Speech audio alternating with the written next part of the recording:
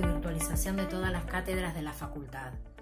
En un lapso de 15 días se crearon 41 aulas virtuales y la totalidad de las materias de las carreras, los seminarios de las especializaciones y el doctorado pasaron a utilizar aulas virtuales, blog de cátedras y o plataformas de videoconferencias. En este proceso de virtualización, junto a los equipos docentes de las cátedras, se inició el contacto con los estudiantes a través de diferentes canales.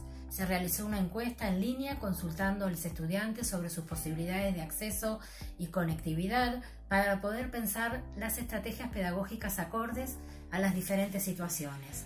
Se abrió un blog de apoyo a los estudiantes con orientaciones para el trabajo en aulas web y una aula también de virtualización para los docentes.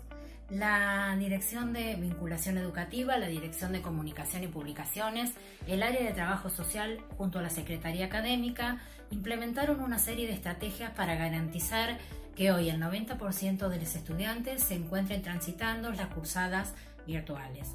Además, se realiza un acompañamiento por otros medios a un 10% de estudiantes que presentan algunas dificultades de conexión y o acceso a las aulas.